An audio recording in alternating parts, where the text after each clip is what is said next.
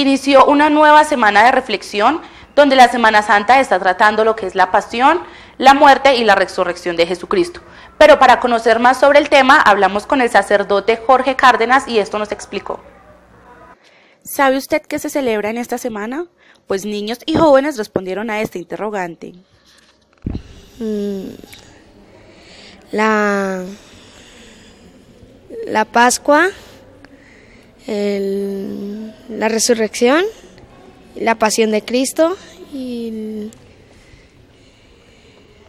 no me acuerdo. Pasión, muerte y resurrección de Jesucristo.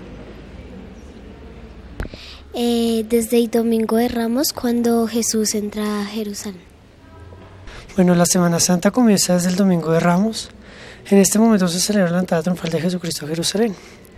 Eh, ya luego de eso, pues se conmemora lo que viene siendo el trío pascual. Nosotros lo celebramos el jueves, viernes y sábado santo. Jueves santo, la, la última cena, que viene siendo la pasión. Viernes santo, la muerte. Y sábado santo, la resurrección.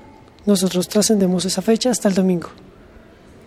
Iniciamos una semana de reflexión para todos los creyentes de la religión católica, donde se da paso a la resurrección de Jesucristo.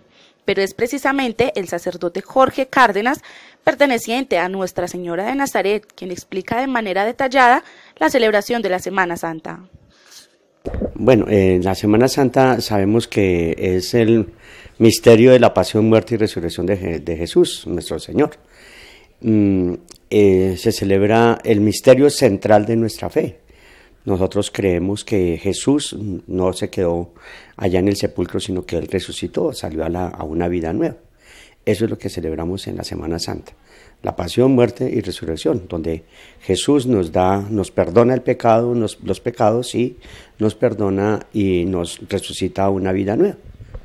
Bueno, ¿y por qué solamente existen dos días festivos en la semana y no toda la Semana Santa?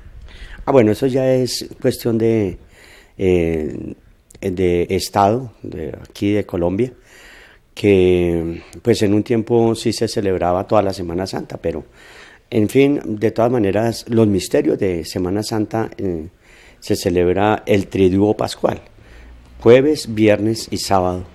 Entonces son tres días de que decimos de la solemnidad de la fiesta. ¿sí? Entonces son los tres días de la pasión, muerte y resurrección de Jesús, jueves, viernes y sábado. ¿Y el Domingo de Ramos por qué se celebra o qué se celebra ese día? El Domingo de Ramos es la entrada triunfal de Jesús en Jerusalén, donde después, eh, seis días después, entonces va a entregar su vida en la cruz por nosotros. ¿Qué itinerario tenemos para esta semana para que nuestros televidentes asistan a la, a la parroquia? Bueno, ya, bueno, ya celebrábamos ayer este acontecimiento de la entrada triunfal de Jesús en Jerusalén con las Eucaristías de común y corriente, pues lunes, martes y miércoles santos. Entonces tendremos a las 9 de la mañana, estamos con los niños en el colegio departamental. A las 3 de la tarde, invitados todos los jóvenes, mayores de 14 años hasta 28, para también celebrar con ellos su Pascua juvenil. Y a las 7 de la noche tendremos, pues estaré yo confesando y tendremos también unas charlas para, para los adultos, para que también vivan de la mejor manera, la una manera más consciente, más activa estos días santos. La participación de la comunidad en esta Semana Santa ha sido bastante activa y el sacerdote Jorge Cárdenas invita a todos los feligreses que aún no han asistido a la parroquia a que lo hagan y participen de esta gran celebración.